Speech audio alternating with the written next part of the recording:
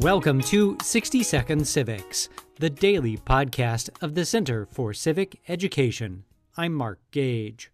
The Roman statesman Cicero had a profound effect on the American founders, and as a consequence, his ideas influenced our system of government. In his Defense of the Constitutions, John Adams wrote of Cicero All the ages of the world have not produced a greater statesman and philosopher, united in the same character. Cicero began his career as a lawyer, gaining a reputation for public speaking. He took on difficult cases and defended his clients with meticulous attention to detail.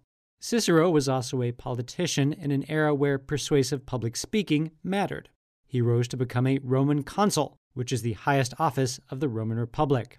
After Julius Caesar was assassinated, Cicero attempted to restore order and defy the tyrannical intentions of Mark Antony and for this he was assassinated. He was hailed as a hero by the founders for his defense of the Roman Republic.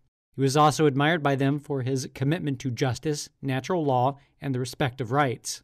Cicero favored a mixed constitution, which combined elements of direct democracy, or rule of the many, oligarchy, or rule of the few, and monarchy, or rule by the one, an idea that can be traced to Aristotle.